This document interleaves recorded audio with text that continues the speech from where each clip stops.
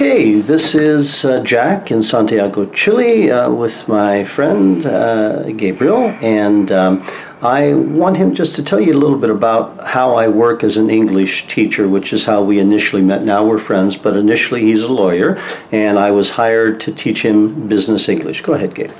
Hi people, my name is Gabriel Briñardelo. I'm a lawyer from Chile, I'm a lawyer, and um, I think Jack it's a very good teacher. He helped me a lot to increase my abilities and skills in English and also helped me a lot uh, to make me think in English, which is the most important thing to learn about the language.